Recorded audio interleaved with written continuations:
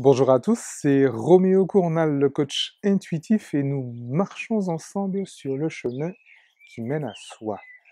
On y est presque. Ou pas. Aujourd'hui, gratitude power! Yes! gratitude et gratuité. Alors, bon, je vais essayer de rester calme. Je viens de recevoir une, euh, un MP Facebook, euh, un truc qui s'appelle une prière de gratitude pour se régénérer. Mon Dieu, quelle horreur. Euh, ça fait trois contre-vérités dans une seule phrase, ça fait beaucoup. Donc du coup, je me suis dit, allez, je fais une vidéo. Et en plus, je, pense que suite à la dernière vidéo, ça va très bien. C'est dans une très très belle, il y a une belle synchronicité là. Euh, alors, prière de gratitude pour se régénérer.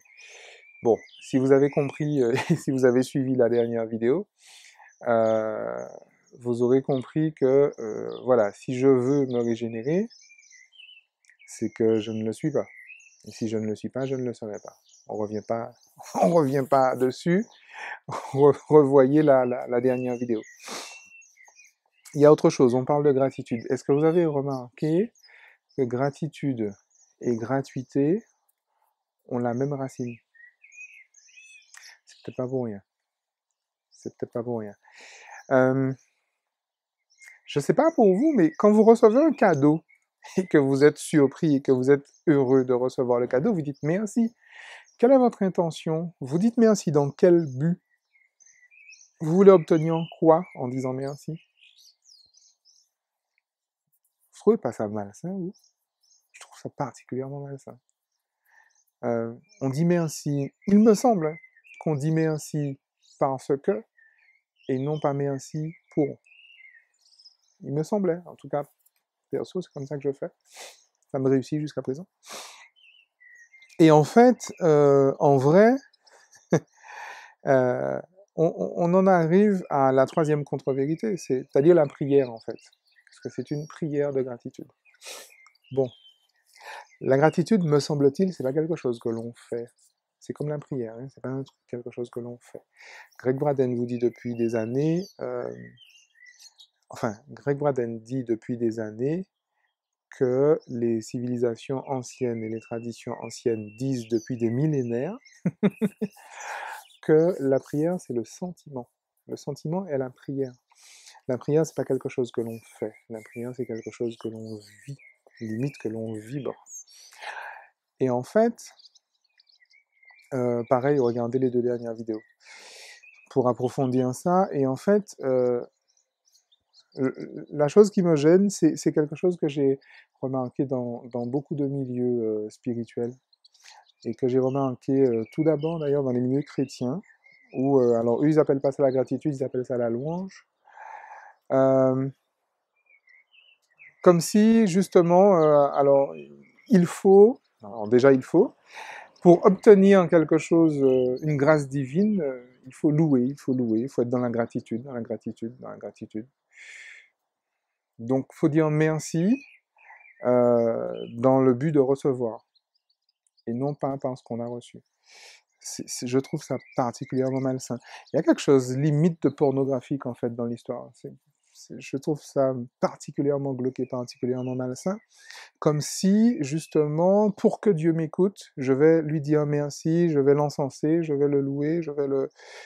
le j'ose pas dire, et au bout du compte, il sera tellement content qu'il va daigner euh, m'accorder euh, plus que les désirs de mon cœur, n'est-ce pas? Réfléchissez à ça. Je sais pas, mais je, trouve ça vraiment malsain. Je trouve ça vraiment, vraiment malsain, quoi. C'est waouh! La gratitude power. Et on en arrive à ce que, justement, dans des séminaires de développement personnel qui sont donnés par des gens qui n'y connaissent absolument rien à la, à la, à la spiritualité, euh, vous, arrive à vous dire, euh, on arrive à vous dire, euh, voilà, qu'il faut être gratitude power, n'est-ce pas, pour pour pour que l'univers veuille daigne bien vous accorder la Ferrari, la Bimbo et la piscine que vous lui demandez. C'est marrant. Je vous garantis que c'était pas prévu, l'appel à la prière que vous entendez derrière. Mais je trouve que ça tombe bien. C'est vraiment, vraiment, vraiment, c'est malsain. Parce que Tony Robbins, euh, tous les matins, il dit gratitude power. Euh, moi, je dis gratitude power pour recevoir euh, les biens matériels qui me manquent pour être heureux. La situation qui me manque pour être heureux. La relation qui me manque pour être heureux. Je trouve ça très malsain. Mais vraiment très, très, très, très malsain. Et, et, et vous savez, je ne suis pas entendons-nous bien, hein, je, suis, je persuadé que euh, la plupart des gens qui font ce genre de pratique sont des gens complètement sincères. Je sais que cette personne qui m'a envoyé cette fameuse prière de gratitude pour se régénérer, c'est quelqu'un qui est complètement sincère. Et elle, trouve ça certainement très bien, mais je pense qu'elle n'y a pas réfléchi. Je pense qu'elle n'y a pas réfléchi. Euh, et je pense que beaucoup n'y réfléchissent pas. La gratitude n'a aucun pouvoir, aucun. Ça n'existe pas la gratitude. La gratitude n'a vraiment aucun, aucun, aucun pouvoir. Euh, dire euh, merci dans l'objectif de, de recevoir, de, d'obtenir de, c'est ce que j'appelle euh, une relation toxique. Quand, je vous dis que si vous avez des relations toxiques dans votre vie, c'est que vous avez de la toxicité à l'intérieur de vous, voici une belle illustration. Euh, quand un enfant dit merci, offrez un cadeau à un enfant, il va vous dire merci, point barre. Hein. Il va vous dire merci, il, sera hyper heureux, il va sauter au plafond, il, a, aura eu son jouet, jouet, son jouet préféré, et il va jouer avec. La seule façon qu'un enfant a de vous dire merci, de lui avoir offert un cadeau, c'est de jouer avec. Et il va pas vous dire merci pour obtenir quoi que ce soit d'autre, parce que s'il veut, il va vous demander. Euh, merci, ça ne sert pas à, rien, à, quoi que ce soit. Il n'y a pas de performance dans la gratitude. La gratitude est dans la gratuité, c'est-à-dire qu'il n'y a absolument rien en échange. La gratitude, c'est quelque chose qui est euh, la conséquence de... La gratitude, en fait, en vrai, c'est exactement comme euh, ces belles vertus là euh, qu'on vous vend à longueur de journée, la, tolérance, la bienveillance, l'amour, le respect, l'amour inconditionnel, et comme ça, ouais. Tiens, petit effet teaser. Allez, je me, je me, sens en forme. La prochaine vidéo va parler d'amour inconditionnel. Je vous garantis que vous n'aurez peut-être plus envie d'être tant dans l'amour inconditionnel que ça, je vous garantis. Parce qu'on va parler forcément du côté inconditionnel de l'amour. Jusqu'où c'est inconditionnel. Mais enfin bref, ça c'est la prochaine vidéo. C'est juste pour m'amuser, c'est juste pour vous piquer un peu.